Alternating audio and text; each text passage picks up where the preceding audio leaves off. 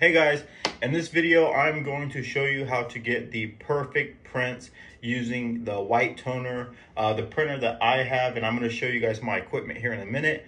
Uh, but the printer that I have is the Uninet uh, iColor 540, um, but the process is still going to be the same if you have the 560 or whatever white toner printer you have. So let's take a look at the equipment that I have. Like I said, we're going to go ahead and use the iColor 540 and we're going to use uh, this heat press. If you're using a different heat press, uh, that's fine, but you're gonna have to play around with the settings, play around with the temperature, play around with the pressure, so you do get that high quality uh, print, okay? So doing the two-step um, A and B, the first sheet, the A, it has a uh, shiny side and it has a dull side, right? The shiny side uh, goes down in the printer and the dual side goes up. We wanna print on the dual side. Um, so shiny, down, dual, up. Okay, so I know there's two ways that you can put the paper in, but I use the tray. So we're gonna just go ahead and open up the tray and like I said, we're gonna put the dual side up, shiny side down, um, inside the tray. Like I said, you wanna do one at a time so you don't jam the printer. That has happened to me, uh, but go ahead and close that up.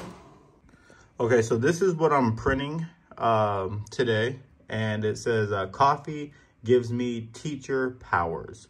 And so I'm gonna go ahead and already have it here. And um, I wanna have it pretty big.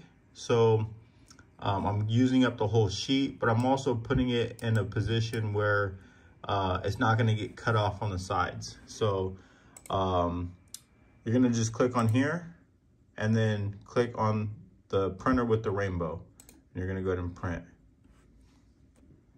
Okay, so now that we have our print, uh, it printed on the dual side, what we need to do is we need to put the B side uh, together so we can um, marry that together. Now, you don't want to touch this at all. You want to make sure there's no lint or anything on there.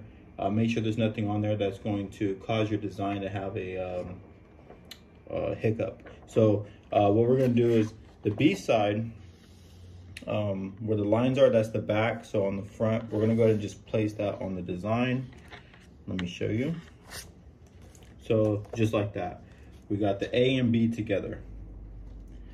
And I find it easier to peel by adding a piece of scratch paper um, between the two, sticking out just a little bit. Don't touch your design at all, uh, but just sticking out a little bit. That way we can pill it easier, okay? The marry process, we want to be at about 300 degrees. Uh, the pressure, we want to be at about three or four. Uh, depending on your heat press, uh, you may have to adjust it um, accordingly depending on if it works out or not. So uh, I started at five, which is recommended, but five was too much. So I went down to four, um, and uh, that was too much. So I went down to three, and then after I put my paper in there, it put it at four. So that was perfect, right? So between three and four is perfect. And you want to heat this pad up for about five minutes. So uh, you just want to um, put your heat press down uh, and, and let it heat up for about five minutes. I usually do about 120 uh, seconds, lift it up, another 120, lift it up, another 120, so about six minutes. Um, but yeah, once that's all heat up, which mine is already heat up, we want to go ahead and start the marry process. So take your design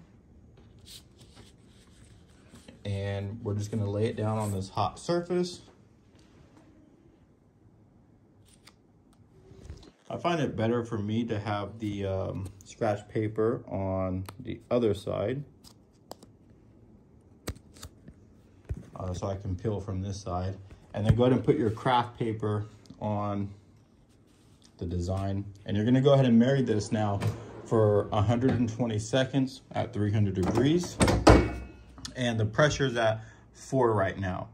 So if there was no paper in there, the pressure would be at three, but because we have the paper in there, it put the pressure at four because it's a little bit tighter now. So we're gonna go ahead and let this go for 120 seconds and I will show you uh, on the next video what we're gonna do.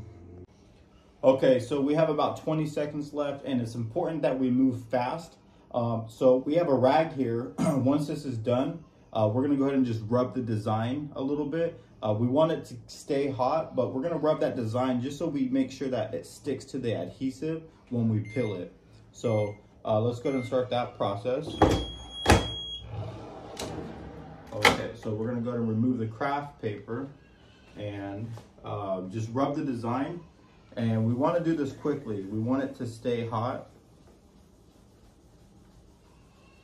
Now, where we put the, I know you guys can't see it right here, um, but where we put that piece of uh, scrap paper, we're gonna go ahead and just lift that up. And then what I like to do is hold it down with one with the rag on the A side and then start rolling the B side up. Now, uh, how fast you pull it is really up to you. I find it, you know, people say to, to do it slow. Uh, I find it to do it uh, fast uh, works out better for me. So, boom, we got that. Now let me show you. Okay, so uh, we went ahead and peeled it and now this is what we have here. So we can set that down this one right here, you can see the design 100% came off uh, with the adhesive, so nothing got stuck on there. Super great peel. Um, now we can throw this part away. Okay, so today we're going to be printing on a medium-sized woman's uh, loose fit shirt. And um, before we get started on that, it's important that we uh, cut around the design because it actually has these adhesive marks on here on the edges and that will go on your shirt if you press it like this. So um, you can just go ahead and cut it out like this. I try to get as close to the design as possible. But in reality, you just need to cut off those uh, edges.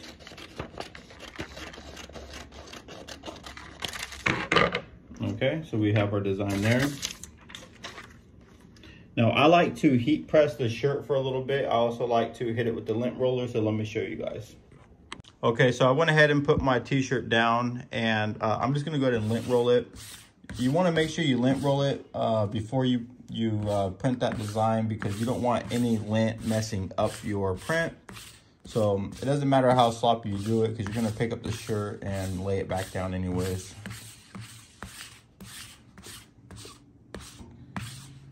and you can see how much uh, came off, uh, which is quite a bit.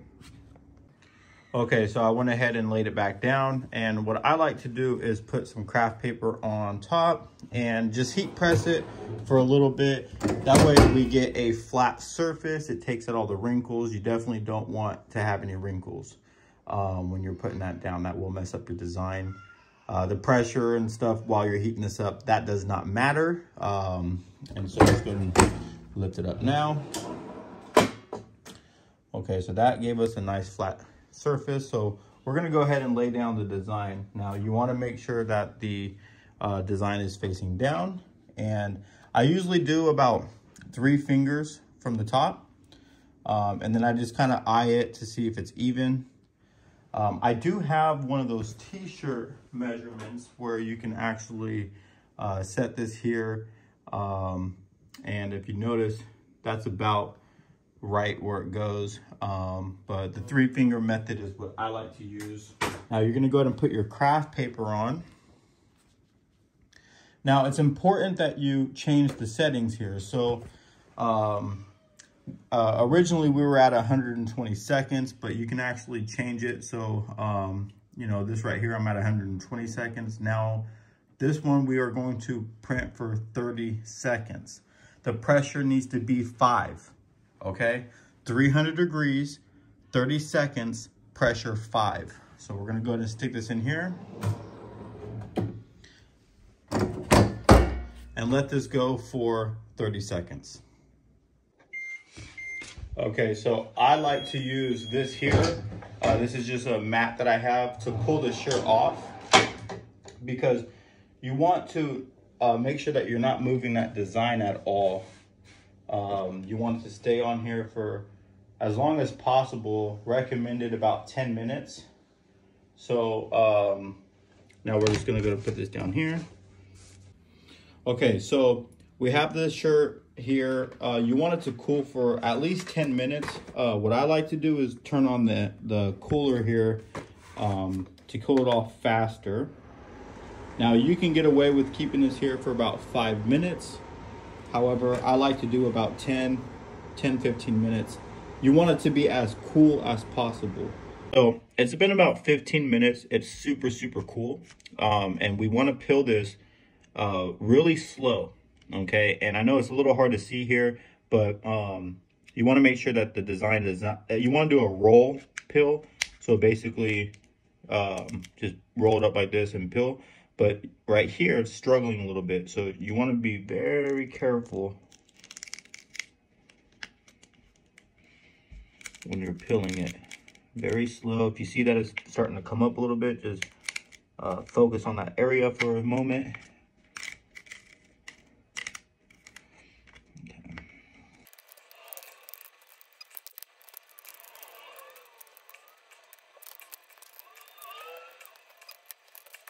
Okay, let's take a look.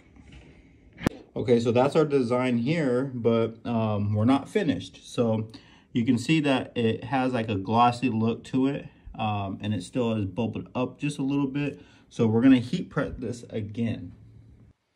Okay, so go ahead and put that back on the heat press, and we wanna put our craft paper on here. Now, uh, they do make specific paper, uh, craft paper for this process. Um, and this is a process that a lot of people forget about or don't know about, but it's important that you do it. This one has a bit of a texture to it, um, so the results come out really neat. But like I said, they do have specific paper for this. So we're gonna go ahead and heat press it 300 degrees for um, about 30 seconds. Let's go ahead and peel this now. Do it real slow.